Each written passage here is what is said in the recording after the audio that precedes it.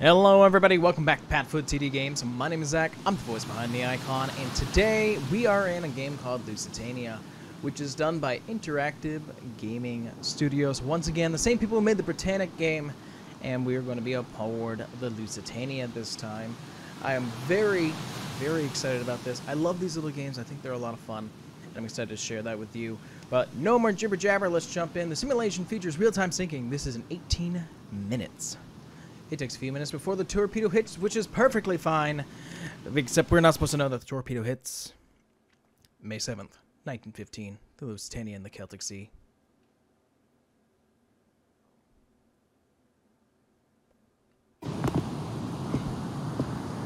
Oh, this is pretty already. So you don't want to jump into the water.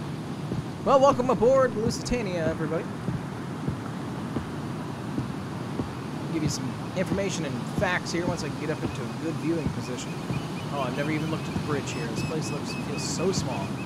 Well, once we explode, we will take a look around. Just like the sinking of the Britannic, we will be... Sorry, I'm just taking it all in. Uh, we'll be doing one of these with the actual sinking, and then we're going to try to survive it if lifeboats decide to launch and one with a free cam that'll be on Padfoot TD Live. But, to give you a little history, the Lusitania is owned by the Cunard Line. Um, was It was built to compete with the uh, transatlantic passenger trade, which was starting to boom at this time. The construction began in 1904, and after completion of the hull and the main superstructure, the ship was launched in 1906 to can uh, figure to finish its fittings. I know what I'm trying to say. The liner was completed the following year, uh, in which this time it was the largest ship in the world at 787 feet, that's 240 meters for my Euro friends, and the length weighing over 31,550 tons. It was surpassed the following year by its sister ship, the Mauretania. Although luxurious, Lusitania was noted more for its speed. This is where it really started to be the battle, was the speed that these ships could get people across the ocean. On September 7, 1907, the ship had made its maiden voyage sailing from Liverpool, England to New York City. The following month, it won the Blue Ribbon for fastest Atlantic crossing, averaging nearly 200, uh, 200, 24 knots. The Mauretania would later claim the Blue Ribbon, uh, and then two ships regularly went back and forth. Oh my gosh, the torpedo is coming from the right-hand side soon. Well, I didn't see that. I was reading something to everybody. We are fucked. Okay, so we have been struck by a torpedo while going here, and that was actually going to be my next point.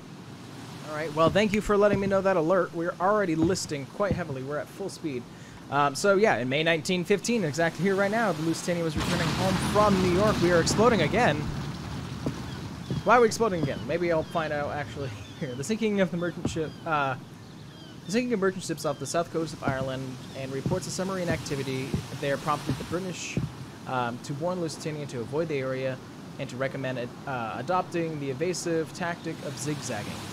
Uh, changing course every few minutes uh, at in irregular intervals, there is the horn to abandon ship uh, to confuse the U-boats in the area. The ship's captain, William Turner, which I find just fantastic, chose to ignore those recommendations, and on the afternoon of May 7th, the vessel was attacked. Man, those dropped fast, didn't they? After being attacked by a torpedo and exploded on the starboard side, the ship was heavily damaged, followed by an explosion. Probably one of the steam engine's pipes. Within 20 minutes, ship had sank. 1,198 people were drowned. The loss of the liner and so many passengers, including 128 U.S. citizens, aroused a wave of indignation in the United States. And it was fully expected the declaration of war would follow, but the U.S. government clung to its policy of neutrality in World War I. So we are sinking, and we are sinking fast. That would explain the second explosion. Sorry for kind of felt like I was reading off a script, because I definitely was. I was hoping to enjoy this ship a little bit longer before it sank. But I wanted to read that to you guys because I wanted to be able to get some facts out to you. Uh, as people have complained before that some of the things that I've said weren't accurate, you know, it's more or less me not speaking correctly. Like I won't pronounce something correctly. So you'll never please everybody, but you can at least try. It's a lie. Don't live your life like that. It's horrible. This ship is a beauty. Small. Feels very small.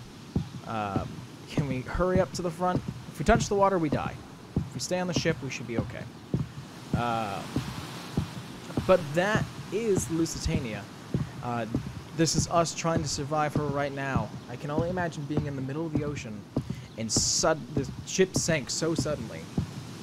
It was torpedoed and loss of life was very, very high.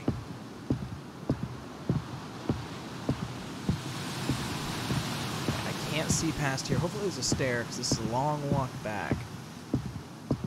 Stairs? No, we just end. Fantastic. Are we gonna be stuck here in ground? Okay, well, this is not going well. this is definitely not going well. We'll have to probably pop back in one more time just to be able to actually see the ship. Seeing as the water is uh, right up to the railing at this point, we are quickly starting to list and weave back and forth.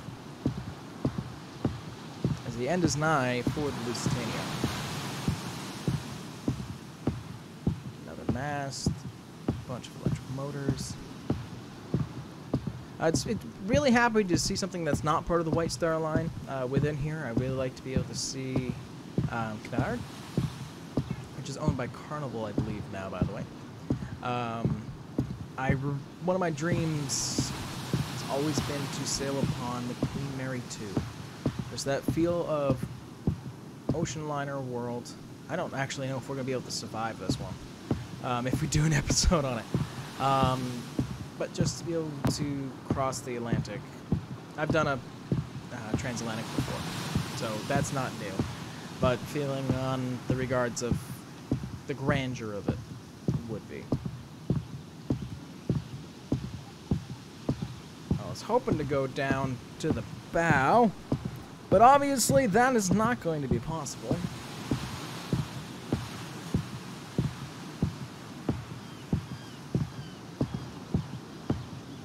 Is the bow underwater yet? No, actually the bow is not. We actually might be able to get down there. Fact isn't necessarily getting down there, it's getting back.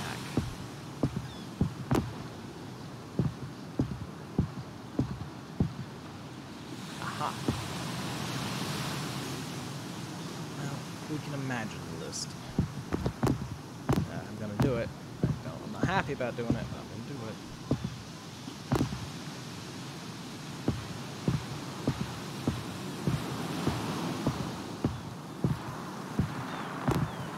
Oh, man, look at that list. Oh, that's terrifying.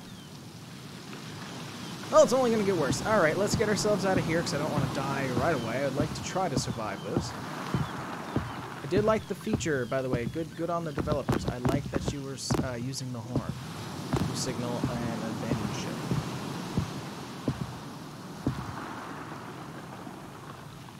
Can I not go up these stairs? Thank you. Oh, this wheelhouse is so tight.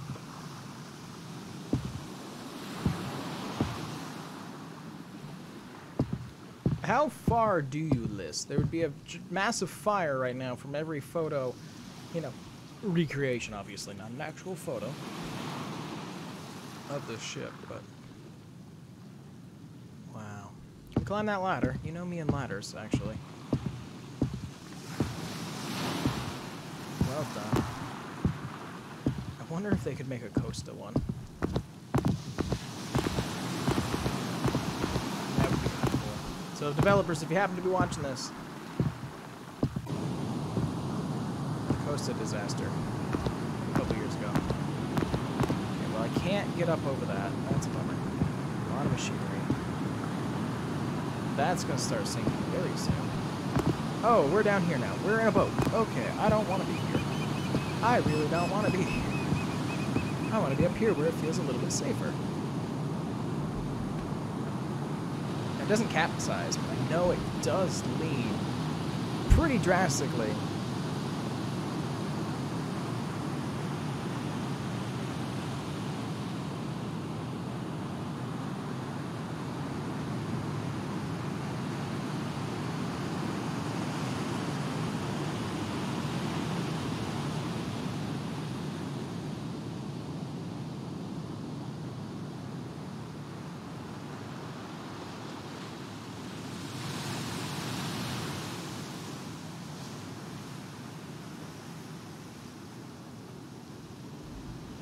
Okay, water is taking its sweet old time, but we're listing so much. I'm afraid that we're just gonna end up being thrown into the water.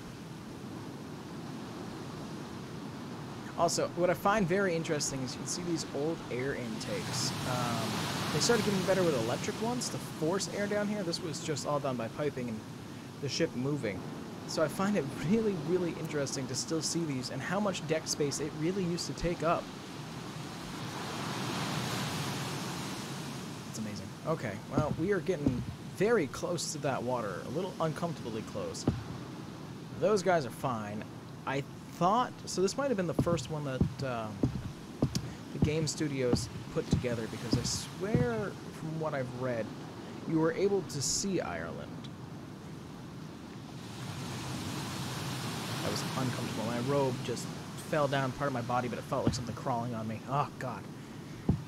Okay. A little lackluster right now. I just feel like it's taking a little bit longer than what I had anticipated. It's at 18 minutes. Now, I don't have my timer up because I have my notes up, so I can read to you guys.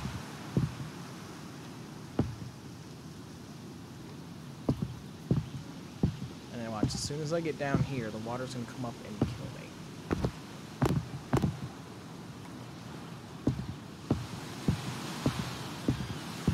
Let's go a little bit further back.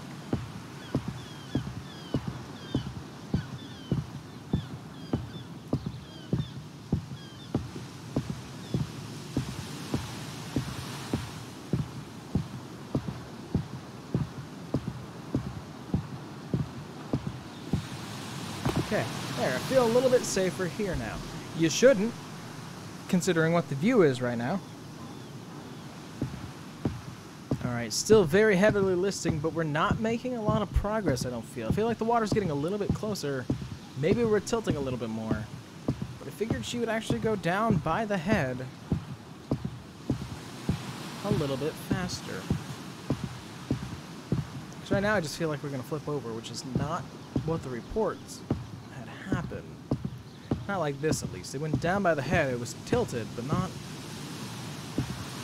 Not as much as it is right now.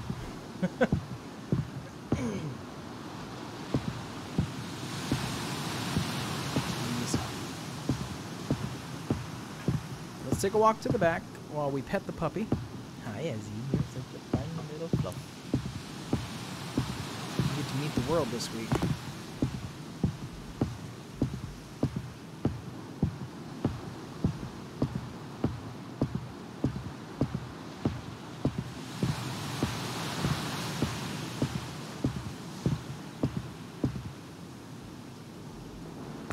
Aha.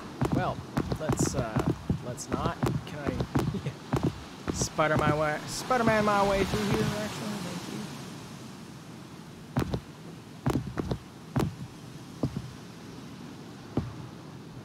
thank you. Jeez, um, oh, those lifeboats are very far. Did we go all the way to the stern? Come on, just let me go over. Don't, don't. This is not where I wanted to be. This is bad. This is bad. This is bad. Very bad. Oh, Jesus. Oh, jeez. Oh, jeez. I said it was bad. I was not kidding, because I think we're trapped down here. Okay, good. Good, good, good, good, good. It also runs like a peanut, but that's okay. It was only $2.99. Highly suggested if you are a ship fan. This is, this is still a lot of fun. Aggravating because it can't tilt your body. And now I'm stuck back here because I can't climb that anymore. Damn it, I really wanted to be able to see. Let's see if over here's any better.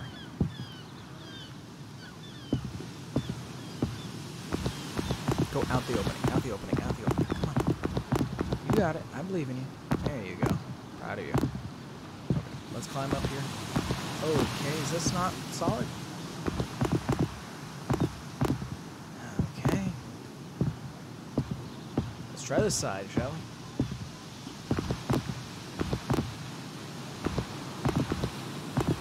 Okay, I feel much better up here. Let's see how we're dying. Well, guess what? I get to do that again, and you guys just get to see the end. Are you kidding me? Ah, that's frustrating. Okay, well. Hey, look, we're back on the ship. That's awesome. Um, can we see the torpedo again? And you guys can see that, and then we'll catch back up. I'd like to be a little bit more aware of when that torpedo's going to hit. Actually, I think I might want to be down downstairs. Oh, you want to be. All right, that should be bitchy. Let's go over here. All right. Now we just got to watch for torpedo coming. Fantastic. Then we'll get ourselves into the back again and not fall off this time, shall we?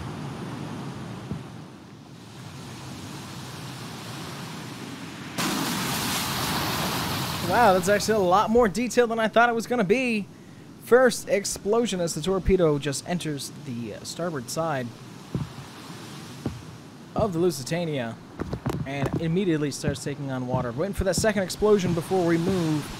Sitting here right now, we were just enjoying this deck and we're just trying to figure out what the hell did we just hit. And I seem to be the sole survivor who saw something in the water. There's our next explosion. At this point, we are starting to panic. Worried about what can be done. Wondering if something on board. We notice that we are starting to list. After seeing that in the water and the times that are here, we fear that it is war. There's the ship's horn. As it calls out through the night, telling us to abandon ship. We're gonna go get ourselves settled.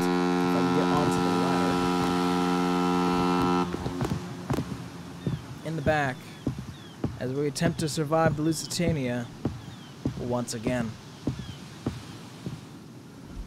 Alright, we are back here on the Lusitania. Thank you guys for being patient. Of course, you didn't have to do anything. I was doing all the work. But we are going down, finally. Um, we got ourselves back up here, and I can see where everything went completely wrong last time. And of course, it's going to be for like the last two seconds of the actual show. Um, what's interesting is I just noticed from here, there should be a second deck on here. There's, this is like a two-story spot. Very interested that it is not there. She's going down with a great amount of speed right now. Trying to, like, I want to watch it, but I also want to stay safe. We all know what it is like to fall through the world. I really prefer not to do that again. Those guys survived. Oh, we're going faster. Look at that. Look at that on the horizon. Look at the horizon versus this. Jeez. Oh.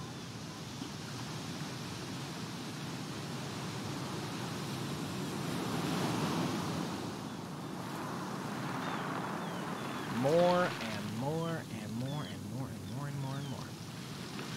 We didn't survive the Britannic. We are definitely not going to survive Lusitania. Eh. Oh, come on. I just want us to get down.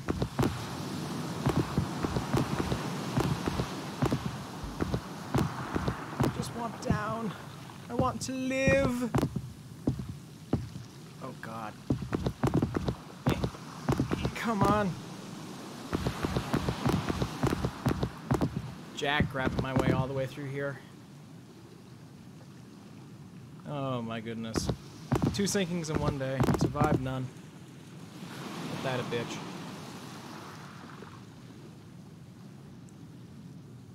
Just trying to think, what would be going through your head? Well, at this point, I'd probably jump down and swim away. Or over here, just walk into the water and try to swim towards the lifeboats. But they're probably full.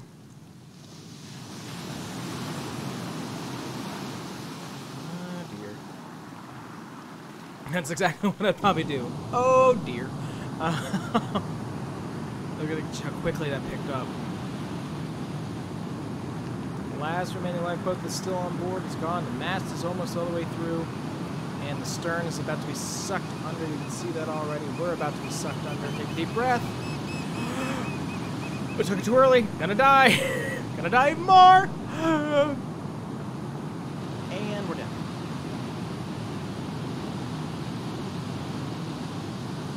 And now, with the mast and everything, we are fully under the water.